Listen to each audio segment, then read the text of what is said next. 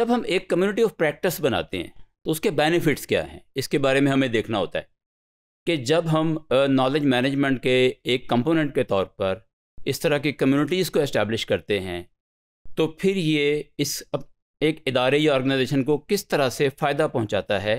तो फ़ायदे तीन तरह के हैं। इंडिविजुअल्स को क्या फ़ायदा होता है? एक ग्रुप को क्या फ़ायदा होता है? और फिर ऑर्गेनाइजेशन को क्या फ़ायदा होता है? तो सबसे पहले अगर हम इंडिविजुअल्स की बात करें तो फ़ायदों की फहरिस्त में हमें सबसे पहले ये नज़र आता है कि इंडिविजुअल की skills and know how increase होती है। उसकी स्किल बढ़ती है उसका नॉलेज बढ़ता है आ, अपने काम के बारे में। उसके बाद है इंक्रीज पर्सनल प्रोडक्टिविटी कि उसकी जो प्रोडक्टिविटी में उसका रोल है उसमें इजाफा होता है।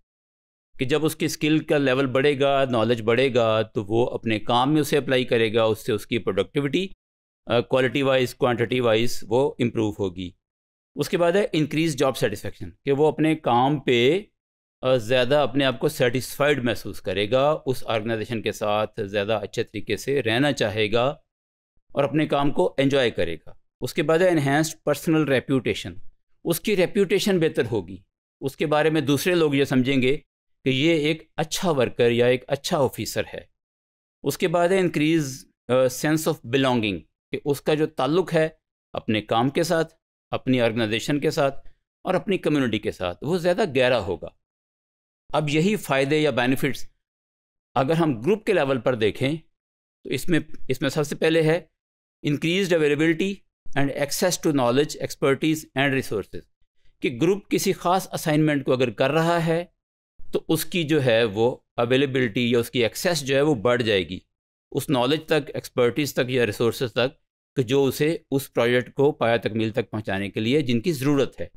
उसके बाद है easier to reach a consensus कि जब लोग आपस में इंटरेक्शन करेंगे एक कम्युनिटी ऑफ़ प्रैक्टिस के ज़रिए तो इस कम्युनिटी के ज़रिए से वो एक कंसेंसिस पर पहुँचेंगे मिल के फ़ैसले करेंगे और आपस में फ़ैसले करते हुए इख्तलाफात नहीं होंगे। और अगर इख्तलाफात होंगे तो उनको वो मिल के सॉल्व कर लेंगे। और एक नतीजे पे पहुँचेंगे। उसके बाद फास्टर प्रॉब्लम सॉल्विंग कि उनका जो प्रॉब्लम सॉल्विंग का बिहेवियर है, उसमें इजाफा हो जाएगा। वो तेज़ी से इस काम को कर पाएँगे, क्योंकि आपस में वो जुड़े हुए हैं। उसके बाद है enhanced community reputation and legitimacy कि कम्युनिटी की जो रेपूटेशन है as a unit as a section वो उसमें इजाफा होगा, बढ़ेगी।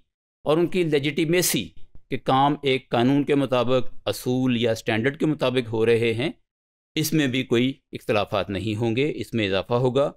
उसके बाद है इनक्रीज ट्रस्ट बिटवीन मेंबर्स कि जितना भी ग्रुप के मेंबर्स हैं, अगर वो एक कम्युनिटी प्रैक्टिस के तौर पर काम करते हैं, उनके दरमियान इंट्रैक्शन होता है नॉलेज का तो फिर उनके दरमियान जो है वो ट्रस्ट भी बढ़ेगा। अब यहाँ देखिए कि ट्रस्ट जो है, वो एक कम्युनिटी प्रैक्टिस को चलाने के लिए भी ज़रूरी है, और कम्युनिटी प्रैक्टिस में काम करने के नतीजे में भी ट्रस्ट पैदा होता है।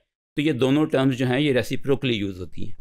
इसके बाद है जी ऑर्गेनाइजेशन ऑर्गेनाइजेशन कैसे बेनिफिट करेगी एक कम्युनिटी ऑफ़ प्रैक्टिस से? उसमें सबसे पहले है कि इम्प्रूव्ड ऑपरेशनल एफिशिएंसी कि जो काम हो रहे हैं, जो ऑपरेशनल लेवल का काम है, उसके अंदर जो है वो एफिशिएंसी आएगी। एफिशिएंसी के मीनिंग ये होते हैं कि थोड़ी इनपुट के साथ एक मुनासिब रिज़ल्ट लेना और ऐसा ना हो कि इनपुट ज़्यादा हो और रिज़ल्ट अच्छा ना आए।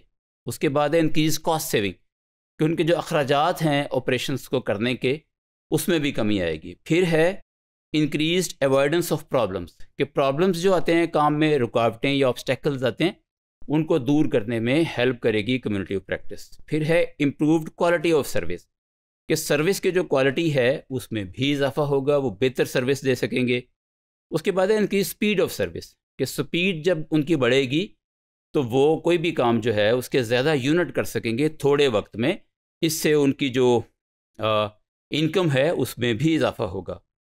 उसके बाद है इंक्रीज एम्प्लॉय रिटेंशन और डिक्रीज टर्नओवर एम्प्लॉय जब सेटिस्फाइड होगा, अपने काम में इंटरेस्ट शो करेगा और उस इदारे को आगे बढ़ते हुए देखेगा तो उसकी इदारे के साथ जो है, वो लॉन्ग टर्म एफिलिएशन होगी, इदारे को जल्दी छोड़ के नहीं जाएगा। इस तरह के जो बेनिफिट्स हैं कम्युनिटी ऑफ़ प्रैक्टिस के, ये इंडिविजुअल को भी होते हैं ग्रुप लेवल पर भी होते हैं और ऑर्गेनाइजेशन को एज अ होल भी हासिल होते हैं।